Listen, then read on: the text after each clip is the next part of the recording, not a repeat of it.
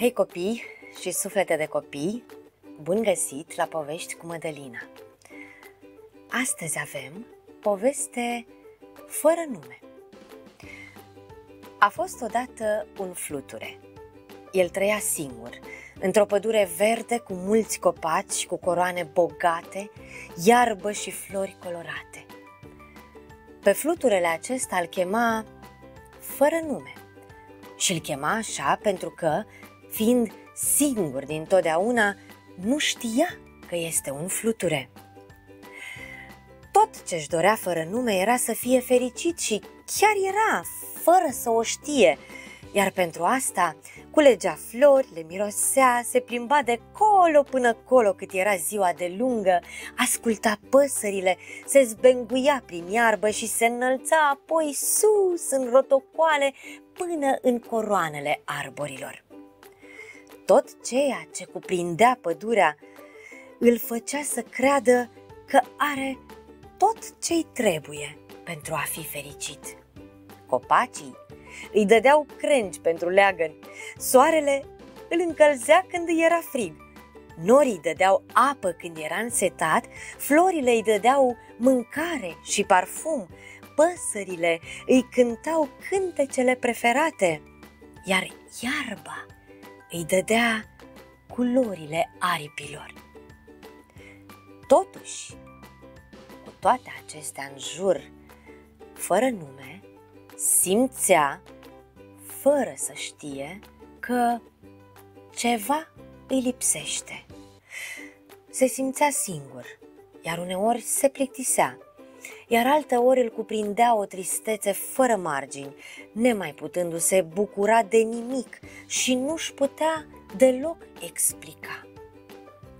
Cei drept, nu ținea foarte mult această tristețe, câteva zile doar, dar aceste câteva zile îi se păreau nesfârșite și tare, tare greu de dus. În acele clipe, pădurea, prin tot ce era ea, uneltea cu soarele, străduindu-se din răsputeri să schimbe ceva în starea de tristețe a lui fără nume. Soarele inventa un nou joc de a face ascunselea. Păsările schimbau muzica, florile îi făceau coroniță, copacii îi făceau lumini și umbre, iar fără nume își revenea. Se simțea și era din nou fericit dar tot numai pentru câteva zile care lui îi se păreau clipe. Și apoi se întrista din nou.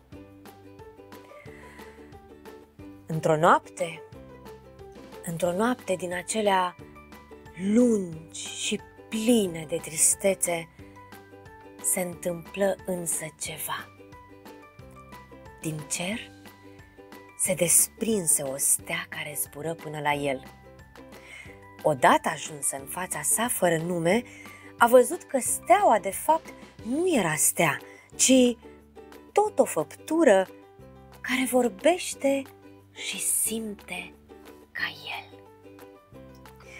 Iar pentru că strălucea și rima cu al stelelor sclipici, fără nume, a numit făptura nou intrată în viața sa Licurici. Iar Licurici pentru că aripile lui fără nume fluturau mereu zglobii, i-a zis fluture. Din vorbă în vorbă, din zbor în zbor, din zi în noapte, fluture și licurici s-au cunoscut. Și pentru că s-au cunoscut, s-au împrietenit.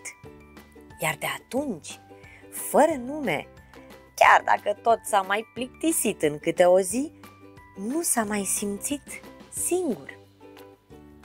Și tot de atunci, nu doar că se simțea și era fericit, mai mult decât atât, el știa că este așa. Pentru că, pentru că avea lângă el pe cineva și iubea și se simțea iubit. Fluture și licurici au trăit fericiți până la marele sfârșit.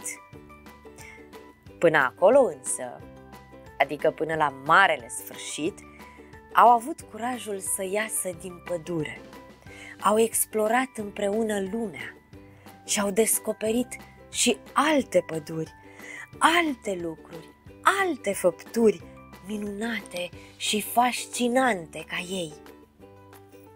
Iar când a venit la ei sfârșit, fluture și licurici, uitându-se în urmă la tot ce au descoperit și au trăit împreună, au mulțumit și fix înainte de a se transforma în altceva, au zâmbit. Pe data viitoare!